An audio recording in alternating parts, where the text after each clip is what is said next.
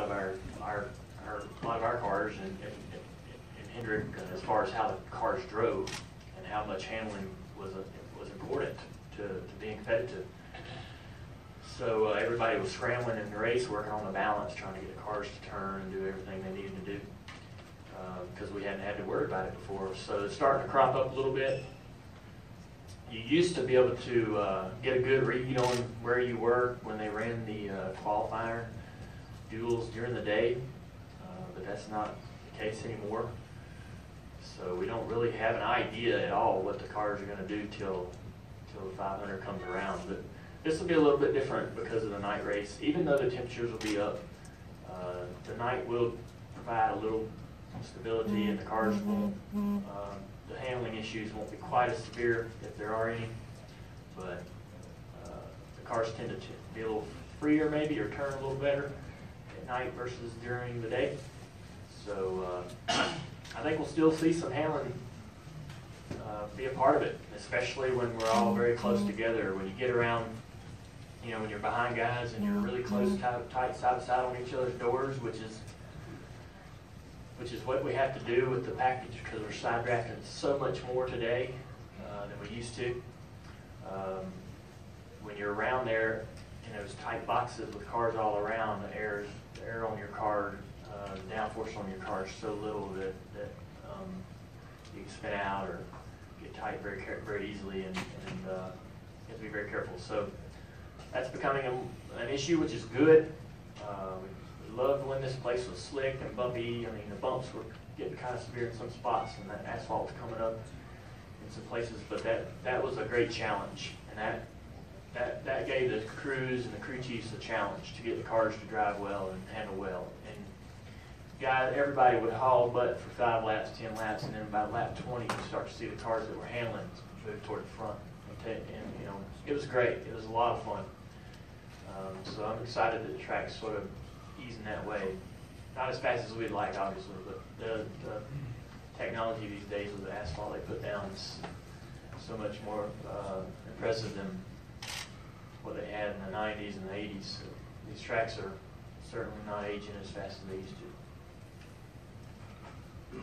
Greg Engle, Examiner.com. Um, Going back to- to Claire B. Lang's point and talking about the council, you were talking about pit road last week before the command. What would you tell a new fan or, or your fan or any fan, any NASCAR fan who's coming to a race? When's the best time to approach you and when's, when's the time that not to approach you? And as a quick follow-up, um, I, I'm from Orlando and obviously we live, you know, you're close here to Orlando. You're running the, uh, the Orlando United stickers this weekend and, and could you talk about that? Thanks. Yeah, it was a terrible tragedy. I'm um, glad that the sports uh, got the stickers on all the cars. Uh, I think it's a great way for us to show our support. Um, I don't, there, it's not really about when, it's not really about when, when, you know, when to be approached by a fan. Um, as long as I've been around the sport, it's just an open policy. You see a driver, you walk up and ask for autograph, you want one.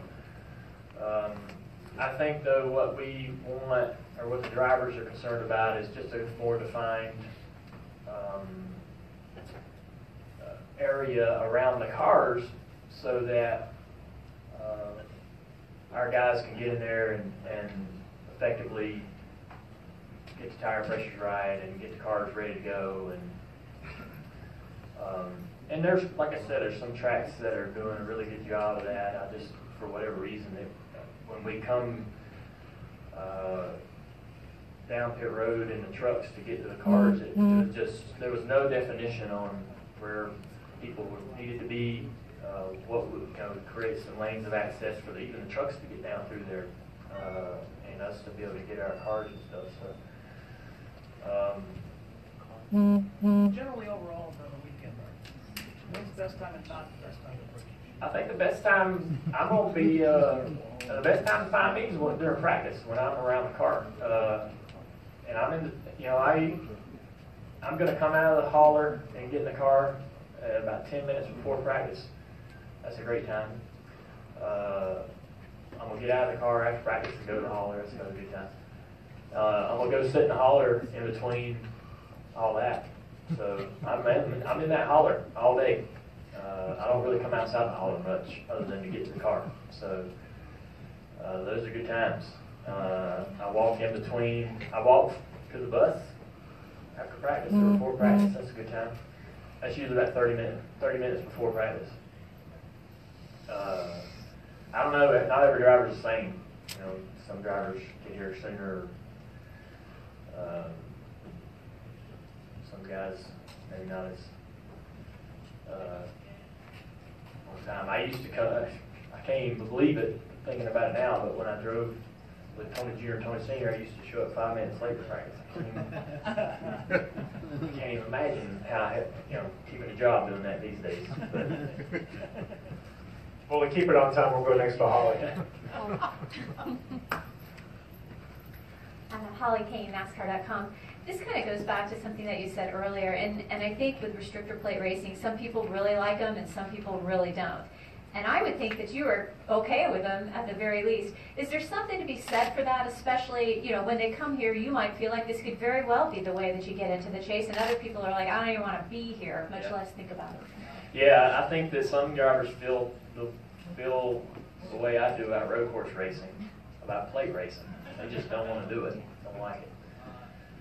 Uh, I definitely come in here thinking this is a great opportunity to win a race. I've won seventeen plate races out of my career, I think, something like that. Um, maybe it's ten, six, six at Dega and four here. So, um, I won seventeen races here, counting one twenty-fives and Xfinity races and all that. But, so this is a group, this is a great place for me to get a win. So I gotta come in there with that kind of confidence, but I know there's races where I've gotten out and just don't understand why this, you know, why we have this kind of racing. Why do we have, the- why is the, why is the package like this? Does it have to be this way? Do we gotta run three wide and crash on the last lap? It seemed like, I mean, when we had the car tomorrow, we wrecked on the last lap of the Talladega races every damn time we went there. And it gets so frustrating, because if you weren't first or third or fifth, you were wrecking. You were gonna wreck. And, and for the longest time, it was hard to understand that we're gonna go to the racetrack and odds are we're gonna crash. I'm gonna work all weekend, bust my ass all day long, lap after lap after lap in the race, and I'm probably gonna wreck. So that was hard to wrap your brain around that this was hey, this is life or this was okay. and uh, nobody thought it was weird, but for the longest time, that's the way it was. Uh, these cars, you know, they crash and we crash, but it- it doesn't seem like it's every single race, you know, at the end. But it's still frustrating when you seem like you can't avoid it. Um, and there was a real, there was a string there from like 07 to 2012, like you couldn't avoid it. You just couldn't figure out what you needed to do to not be in it. And uh, so it got real frustrating there at one point, but uh, they changed. They, you know, we got rid of the tandem. That was no good. Um, and the racing, to me, has steered in a, a little better direction, something similar to what we had around 2001. And um, we still crash. Uh, we don't want to flip, but um, it's not as frustrating as it used to be. And, and I and I do enjoy when when when you get out there and you're doing everything right and everything seems to be it seems to be like you're you're in a zone. That's a fun time and that's a good that's a that's a good time. When your guys uh, when you go out there and you run and you come back in and your guys go, man, can't believe you made that move. I mean, it's fun to go out there and, and, and, and do stuff. But um, it is it was rough there for a while, but it's definitely I think this this car and um, the changes we've made to get away from some of the things that we didn't like about plate racing there for a while have, have improved. Well, Dale, really appreciate you taking the time today, and good luck this weekend. All right, have a good weekend.